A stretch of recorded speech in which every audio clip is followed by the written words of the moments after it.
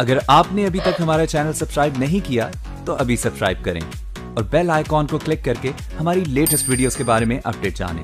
एक तरफ़ सीएबी को लेकर प्रदर्शन और दूसरी तरफ़ लगातार होते अपराध उत्तर प्रदेश की योगी सरकार के लिए दोहरी परेशानी बन गए हैं लगातार होती रेप की घटनाओं ने जहाँ योगी सरकार के लिए परेशानी पैदा कर दी है, वहीं प्रदेश के हालातों को देखते हुए विपक्ष सरकार पर हावी हो रहा है। अभी उन्नाव में ज़िंदा जलाएगी पीड़िता का मामला। ठंडा नहीं हुआ था कि अब बिजनौर में जिला कोर्ट में पेशी पर आए आरोपियों के साथ जो हुआ, उसने योगी सरकार की परेशानी बढ़ा दी है।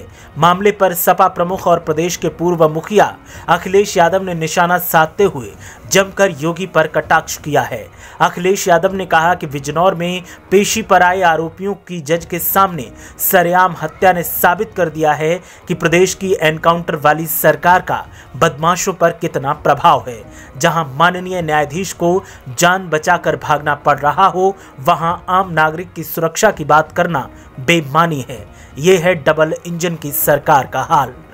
अखिलेश यादव ने डबल इंजन की बात कहकर केंद्र और राज्य दोनों सरकारों को आड़े हाथों लिया और मौजूदा कानूनी हालात पर कटाक्ष किया।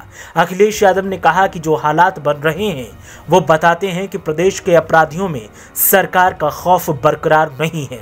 प्रदेश की सत्ता में कानून को मुद्दा बनाकर आई बीजेपी अपने ही वादे और दावे पर फेल होती दिखाई दे रही है, जो सरकार के लिए खतरे की घंटी है। अखिलेश यादव के तेज होते वारों से भी सरकार खुद को नहीं बचा पा रही और जो हालात हैं उन पर भी सरकार का काबू नहीं है। ऐसे में आवाम आखिर उम्मीद किससे करे? ब्यूरो रिपोर्ट, मीडिया हलचल।